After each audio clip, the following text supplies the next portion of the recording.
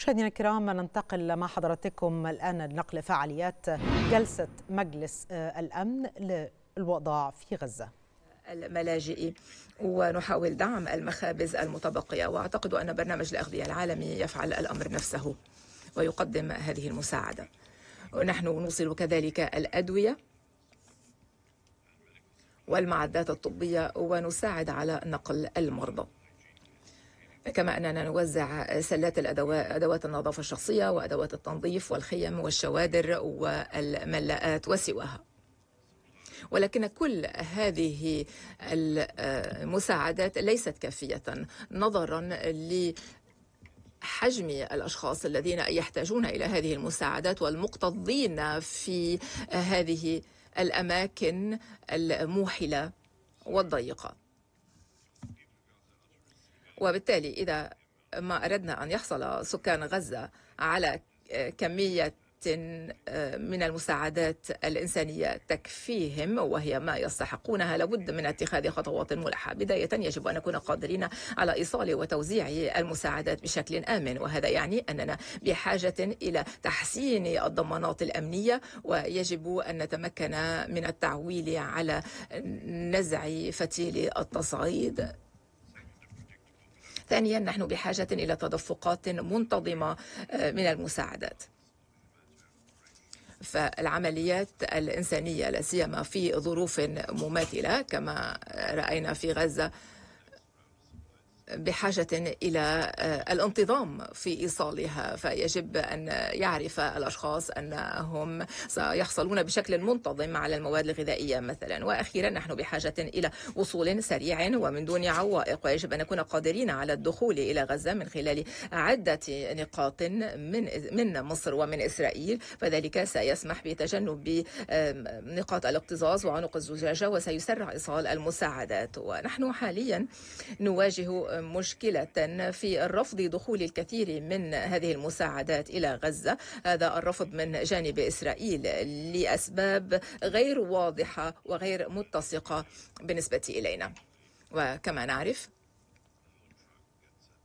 إن الشاحنة بكاملها تعاد ويرفض إدخالها إذا ما كانت تحتوي على بعض المواد. يجب أن نتمكن من الوصول إلى المدنيين الذين يحتاجون المساعدة في كل مناطق غزة. حاليا إن وصولنا إلى خان يونس والوسط وشمال غزة معدوم. أحد زملائي في طريقه للقيام بتقييم ثان في الشمال. في هذا الوقت بالذات جيمي ماكولدريك نائب المنسق الخاص والمنسق الإنساني يبذل جهودا لزيادة العمليات في المناطق الحساسة. وجيمي شخص عملي جدا ويملك خبرة طويلة في العمليات الإنسانية. كان يعمل معي منذ ثلاثين عاما.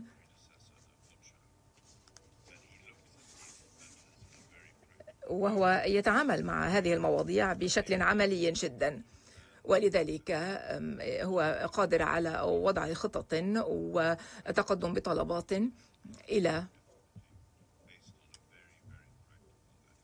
اللجنة بالاستناد إلى خبرته الطويلة وهو لا يطلب المستحيل. هو يقود الجهود لزيادة العمليات في المناطق الأكثر حاجة.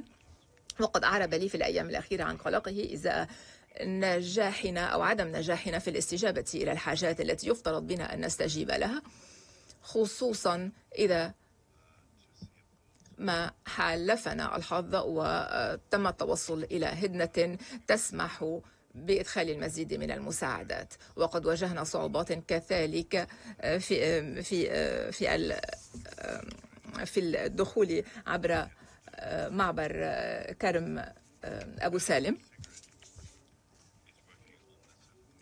وسيجريد تعمل كذلك على الآلية لتحسين وتحليل وتسريع دخول الشاحنات من الخارج إلى غزة.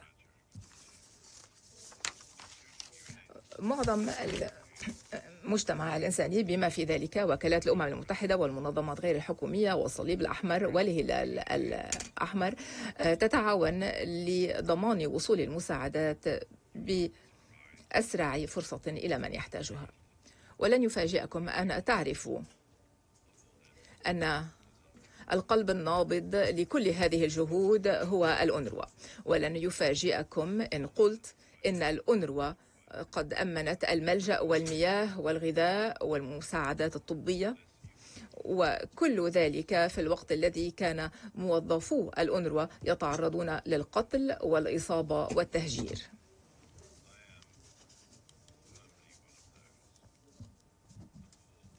لقد روعني.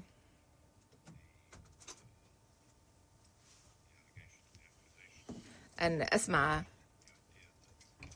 أن بعض موظفي الأونروا يزعم أنهم قد شاركوا في الاعتداء على إسرائيل في السابع من أكتوبر.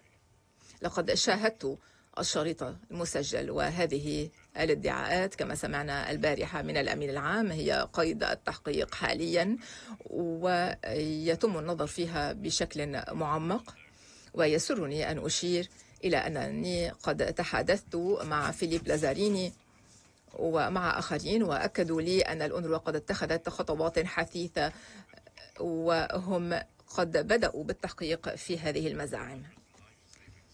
ولكن خدمات الأونروا المنقذة للأرواح كما أكد كثر وكما أكد الكثير من الدول الأعضاء البارحة لثلاثة أرباع سكان غزة يجب ألا تتعرض للخطر بسبب الأفعال المزعومة التي قام بها بعض الأفراد. فإن أي وقف لهذه الخدمات لن يكون متناسبا. وكذلك فإن الدعم الأنروا للفلسطينيين في الضفة الغربية وقلما نتحدث عن الضفة الغربية لأن غزة اليوم هي في محور هذه المأساة الفظيعة. إذا تراودنا شواغل كثيرة بشأن تفاقم الوضع في الضفة الغربية كما في لبنان والأردن وسوريا. ومن من المؤسف أن نرى أن الخطوات الصغيرة التي لاحظناها والتي ناقشناها في الجلسة المغلقة حول سوريا منذ بضعة أيام معرضة للخطر اليوم بسبب هذه الأحداث. بصريح العبارة وبكل بساطة إن استجابتنا الإنسانية إذا ما يحصل في الأراضي الفلسطينية المحتلة رهن بشكل كامل بقدرة أو بتمويل الأنروا بشكل ملائم وبقدرتها على العمل. وأؤكد لكم أننا لن نألو جهدا لكي نحقق ذلك. ولكي يتحقق ذلك بشكل يحترم مبادئ الحياد ومع تقديم ضمانات إلى كل الأطراف المعنية. إن الأنروا تطلع بدور حيوي في توزيع وتخزين في التوزيع والتخزين وفي الشؤون اللوجستية والموارد البشرية. وهناك ثلاثة ألاف موظف يستجيبون إلى الأزمة الحالية. نائب المنسق الإنساني لغزة هو مدير أونروا في غزة. وقد اخترناه اخترناه لأنه على بينة كاملة مما يحصل وهو قادر على الاطلاع بهذا الدور بشكل كامل. ولكن بالطبع نأمل أن تتخذ القرارات اللازمة لتوفير الأموال التي تحتاجها الأونروا السيد الرئيس ختاما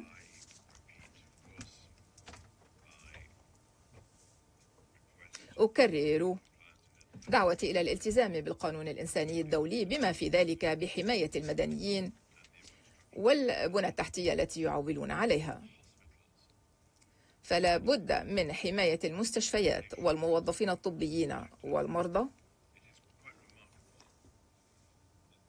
ومن المذهل أن نرى في الأيام والأشهر الأخيرة كيف أن المؤسسات الصحية ليس فقط في غزة وليس فقط في الأراضي المحتلة ولكن في مختلف أنحاء العالم كيف أن هذه المؤسسات الطبية قد تحولت إلى هدف. وكذلك الأمر بالنسبة إلى العاملين في مجال المساعدات الإنسانية. لذلك أكرر دعوتي إلى الإفراج الفوري عن كل الرهائن وقد التقيت بهم وبأسرهم.